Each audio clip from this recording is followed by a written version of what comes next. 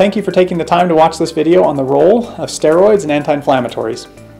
This is one of the most common questions that we receive, and because the answer is fairly long and complicated, uh, we thought we'd make a video specifically addressing the topic. Now in this video we're going to review five things. Number one, uh, what are steroids and anti-inflammatories? Number two, why do some suggest them after reversal? Number three, are there any data which suggest that they actually work? Number four, what are the side effects? And number five, should I take them? So, proceeding with number one, what are steroids and anti-inflammatories? Well, steroids include glucocorticoids, such as prednisone, medrol, or other similar types of drugs.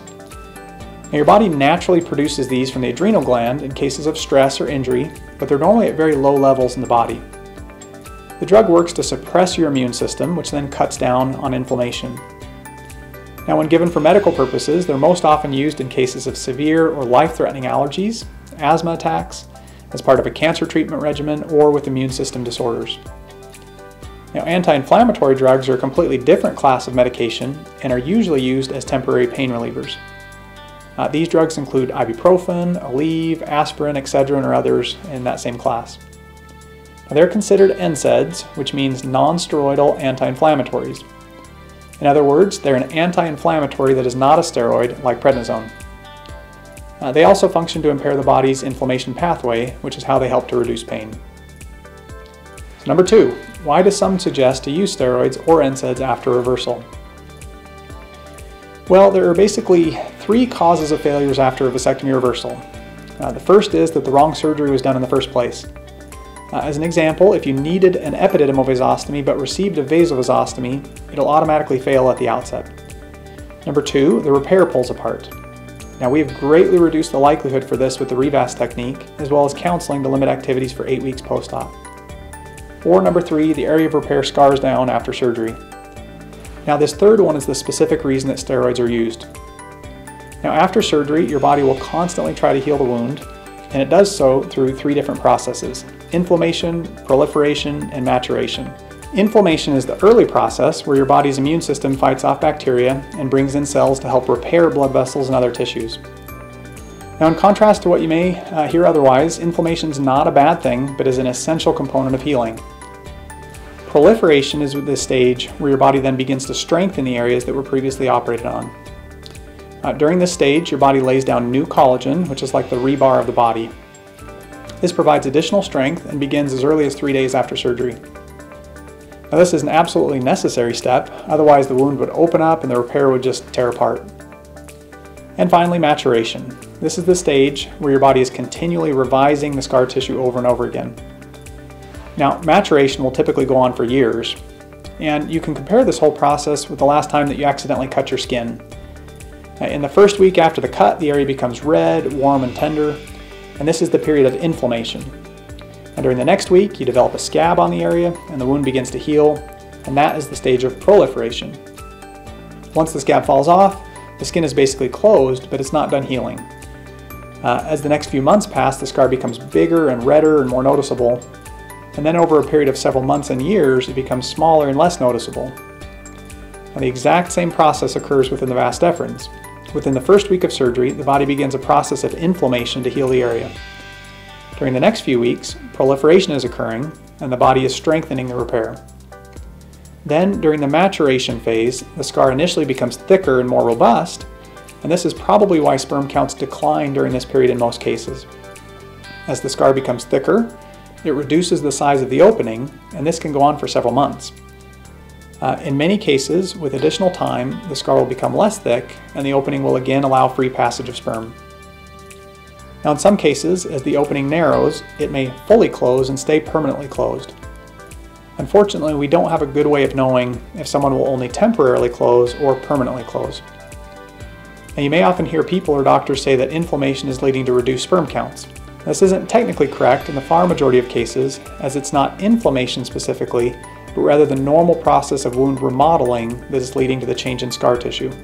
Now, if someone takes steroids, such as prednisone or medrol, depending when they're taken, it can impact one or more of the phases of wound healing. So, that leads us to the next question, which is, do steroids actually work? Well, the short answer is maybe and sort of. So, Please keep in mind this information is up to date as of the posting of this video, but medical research changes quickly. Uh, so let's review the available published studies to dive into this a little bit more deeply. The earliest known study on this topic was performed in dogs, and in the study the investigators performed a vasovasostomy on both sides of each dog in a total of eight dogs. Half of the dogs were then treated with a very high dose of prednisone for two weeks, and the others weren't. Uh, 12 weeks later, the investigators cut out the area of repair and analyzed it. Uh, one of the tests they did was to shoot fluid across the area to see if it was still open. Uh, overall, the results showed that three of seven of the control animals were still open, while five of eight of the prednisone animals were open.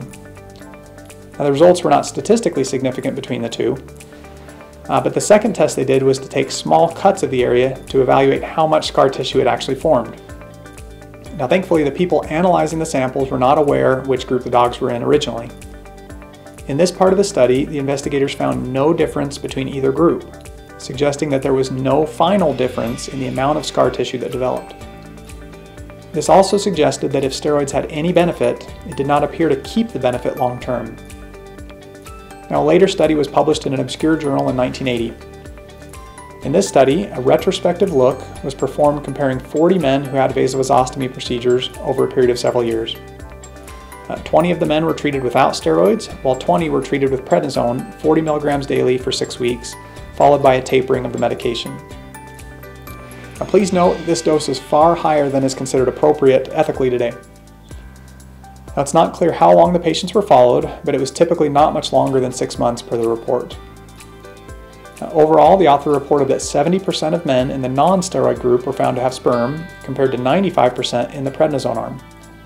Pregnancy rates were 45% in the non-prednisone arm, compared to 55% in the prednisone one.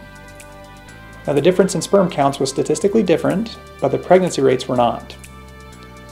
Now sperm counts in men who were treated with prednisone decreased continually after the prednisone was discontinued. There are a few issues with this study though.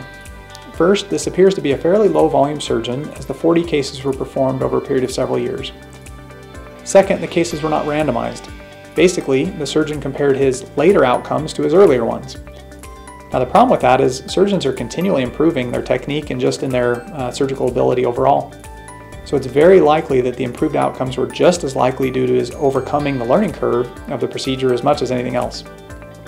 It's also very common for high volume vas reversal surgeons to have a 90 plus percent success rate in finding sperm with or without the use of prednisone. Uh, the definition used for sperm was the presence of any sperm seen at any time. And we've previously published that this is a hugely inadequate uh, definition.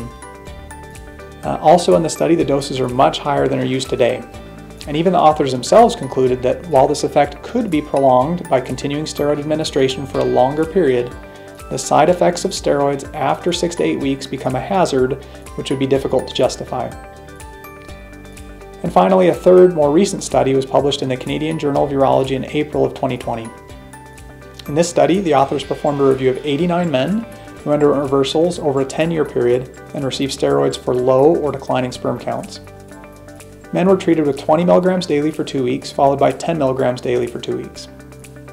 Overall, the authors found that following the course of steroids, total motile sperm counts increased by about 10 million. Uh, men who had some amount of sperm in general did better than those who had a zero count.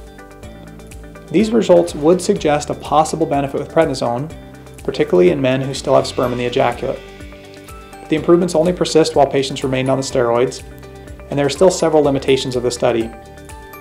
Uh, one of these limitations is a very uh, small number, it was 9 patients per year, and there really wasn't a true comparison against a control group.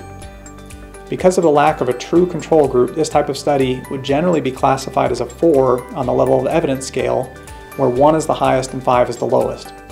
So it's intriguing, uh, but definitely not conclusive. Now jumping uh, to the topic of NSAIDs, uh, unfortunately there's less to discuss here. Uh, there are currently no studies which have evaluated the efficacy of NSAIDs in men post-reversal. Uh, some have used NSAIDs for other applications, and in these studies the data are mixed. As an example, no guidelines currently recommend the use of NSAIDs chronically to reduce scarring in any disease state. Uh, some studies have shown reduced decline in function for people with chronic recurrent infectious processes, such as cystic fibrosis, but not in cases of scarring that were not due to infection, such as idiopathic pulmonary fibrosis. In other words, NSAIDs do reduce inflammation, but there's no evidence that they reduce remodeling, which is really the main process that is occurring with delayed scarring with reversals. So what are the side effects of steroids and NSAIDs? Steroids such as prednisone or Medrol have a large number of side effects, including thinning of the bones, which is known as osteoporosis, eye problems such as glaucoma and cataracts, high blood pressure, diabetes, increased risk for infection, anxiety, difficulty sleeping, stomach ulcers or reflux, puffy face with water retention, uh, development of a buffalo hump, and, and many more. Well, how often do people actually experience these side effects though? That's a tough question to answer as it completely depends on the dose given, the total time administered, the patient's underlying age, and their health status. A medium to high dose is usually defined as 7.5 milligrams daily or above, now, a recent study in men who took 40 milligrams of prednisone for five days showed that 50% of these men had worsening of high blood sugars, while 7% had worsening of blood pressure. Now, these are generally considered mild side effects, but in a more recent study in the Annals of Internal Medicine, uh, they reported the rate of more severe complications. In this study, 2.6 million men who took short bursts of steroids were evaluated. Results showed that there was a 3% chance of developing a significant gastrointestinal bleed over a one year treatment period, and a less than 1% chance of heart failure or severe life-threatening infections. In other words, the risks with steroids depends completely on the dose and duration taken. Uh, most men will experience some side effect, which is usually not noticeable, and a very small percentage will develop a more severe reaction. Now, these risks are increased if the total duration of steroids is extended. In contrast, the risk of NSAIDs, such as ibuprofen, are generally less than those of corticosteroids. Uh, the main concern with longer term use of NSAIDs is the increased risk of stomach ulcers or gastrointestinal or GI bleeds. Uh, longer term, NSAIDs can lead to kidney failure and an increased risk of heart attacks and strokes. However, this usually requires a, a long duration of use, uh, such as over years. And finally, should I take steroids or NSAIDs? Well, this is a difficult question to answer, and it'll be different for each individual and really should be discussed with your physician. Uh, the decision to pursue any treatment is based on reviewing the potential risks versus the benefits. Now on the upside, it may increase sperm counts. On the downside, it likely only improves counts while it's being taken, doesn't improve outcomes long term, there's inconclusive data, and the optimal regimen has not been defined, and there is a potential for significant and cumulative side effects, particularly if you take them over an extended period of time. Now regarding NSAIDs, uh, the risks are far lower but the potential for improvements is also far lower. So, in general, our position has been that if a patient wants us to prescribe the steroids and they don't have any health conditions which would preclude it, such as a gastrointestinal disorder or diabetes, then we're happy to prescribe them. Uh, but we always want to make sure that the patients understand the potential risks and benefits so they're making as informed a decision as possible.